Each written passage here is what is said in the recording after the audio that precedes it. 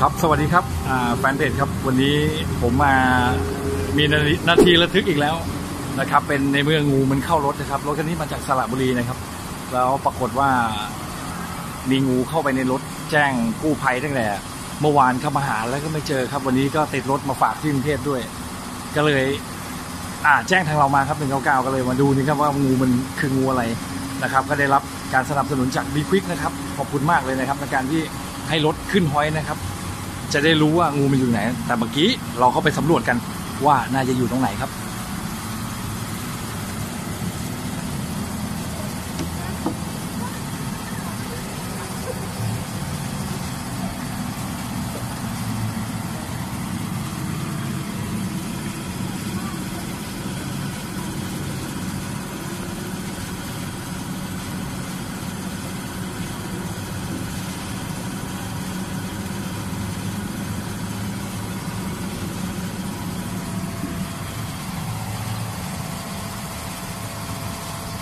นี่ครับน่าจะอยู่ในส่วนนี้ครับ อยู่บนถังน้ำมันนะครับ เป็นจุดที่แอบน่าจะจุดเป็นจุดที่ดีที่สุดเพราะว่าพอรถติดเครื่องเนี่ยพอความร้อนมันสูงเนี่ยงูก็จะแอบมาหลบพอดีอ่า น้องขับรถมาถึงบางอ่าที่ทำงานครับ แล้วปรากฏว่างูมันโผล่หัวออกมา ก็คือยังมั่นใจว่างูอยู่ในรถก็แจ้งทางเรามาเราก็ไม่รอช้าครับ รีบดำเนินการนะครับ มาตรวจสอบปรากฏว่าเจอครับนี่ครับ อยู่ในบริเวณนี้นะครับ เดี๋ยวผมจะดำเนินการจับแล้วนะครับ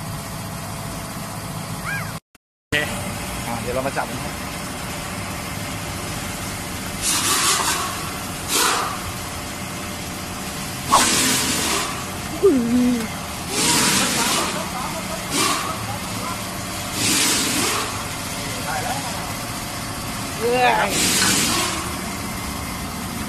ผมเป็นสิงคโปร์ครับได้ไหมตัวนี้ป่ะก็นี่เลยค่ะ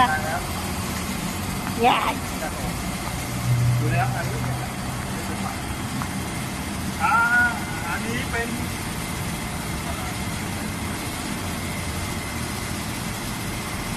โอ้โหเลือดของปากด้วยไม่รู้เขาไปโดนอะไรมา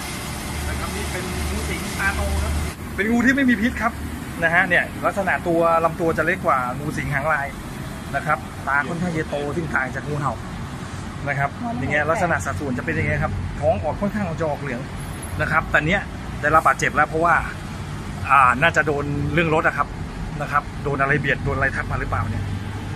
นะครับก็โชคดีนะครับที่ว่ามาเจออย่างเงี้ยไม่งั้นก็ระแวง แต่ในสัดส่วนในเรื่องของการที่มันจะเข้ารถเนี่ยสบายใจได้ครับว่ายังไงก็ไม่เข้าแน่นอนนะครับ เพราะว่าตัวรถเนี่ยมันเซฟสุดแล้วมันก็จะอยู่ใต้ท้องอย่างเงี้ยนะครับ ก็เป็นอ่างูลักษณะงูเข้ารถกับรถเก๋งกับรถกระบะเนี่ยมันจะต่างกันนิดนึงรถกระบะสัดส่วนเนี่ยมันจะค่อนข้างที่จะดูง่ายแต่ถ้าเป็นรถเก๋งเนี่ยซอกมันค่อนข้างจะเยอะครับ รายละเอียดของซอกเนี่ยมุมนู้นมุมนี้ต่างๆเนี่ยฉะนั้นเราต้องอาศัยในการที่อ่าอู่รถยนต์ที่มีเขาเรียกห้อยอะครับในการขึ้นในที่สูงนะครับ เพื่อที่จะช่วยในการจับงู